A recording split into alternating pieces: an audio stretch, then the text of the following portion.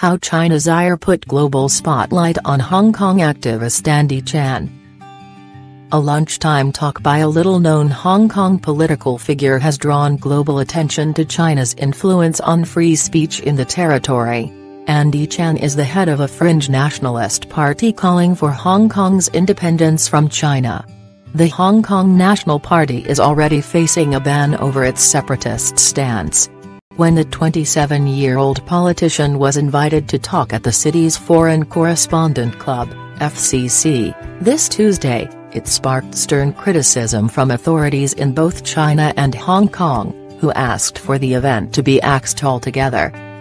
The FCC defended the talk and will push ahead with it, with global media attention now focused on what otherwise likely would have received little or no attention at all. Why does Hong Kong care? A former British colony, Hong Kong was returned to China in 1997. But it enjoys considerably more freedoms due to the one country, two systems formula, under which Beijing agreed to give the region a great deal of autonomy and to preserve its economic and social systems for 50 years. There are widespread concerns in the city that those freedoms are gradually being eroded and the extent of China's influence over Hong Kong is a sensitive issue.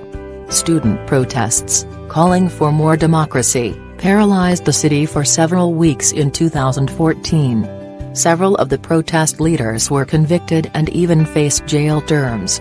Those demonstrations, however, were merely about a more democratic election process, nowhere near as contentious as the issue of independence.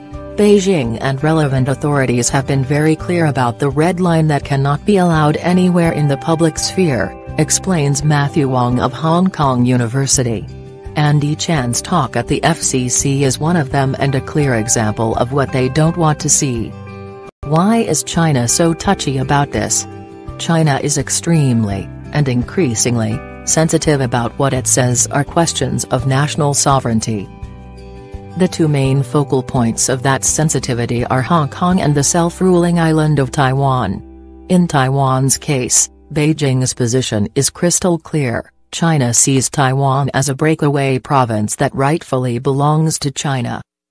In the case of Hong Kong, the situation is more blurry. Hong Kong is part of China but its special status and the liberties granted to its citizens can be seen as indirectly undermining Beijing's tough hand on the mainland. Yet when it comes to calls for Hong Kong's independence, there is in fact very little public support for advocates like Mr. Chan. Not many people genuinely think that Hong Kong can survive on its own in practice, Mr. Wong says. He adds that while some people might speak up for the freedom to discuss such ideas, they would hesitate to do so in this case, as they would risk being seen as supporting separatism. So what have the authorities actually done? China's Ministry of Foreign Affairs has urged the FCC to cancel the event and Hong Kong's top official, Carrie Lam, has criticized it as regrettable and inappropriate. The city's former leader and Mrs Lam's predecessor, CY Leung, was even more blunt in his condemnation of the event. In a public Facebook post, he wrote the talk had nothing to do with press freedom. He addressed the FCC directly, saying that before long you will invite advocates for Taiwan independence to speak publicly at your club. Following this logic, you most probably will not draw any line against criminals and terrorists. As I said, we ought to be gravely concerned.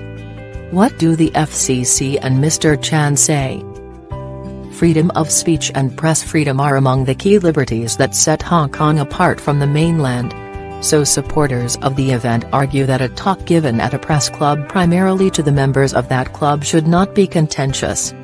The FCC has defended its decision to invite Mr. Chan, arguing that Hong Kong rightly prides itself on its reputation as a place where the rule of law applies and where there is freedom of speech. We believe that in free societies such as Hong Kong it is vitally important to allow people to speak and debate freely even if one does not agree with their particular views. As for Andy Chan, the attempts to ban him from speaking didn't come as a surprise, and instead bolstered his belief that China is treating Hong Kong as a colony. It proves our point that it is China who is destroying Hong Kong's rights, he told the BBC. The Hong Kong authorities acted out of obedience, the Beijing authorities out of hubris.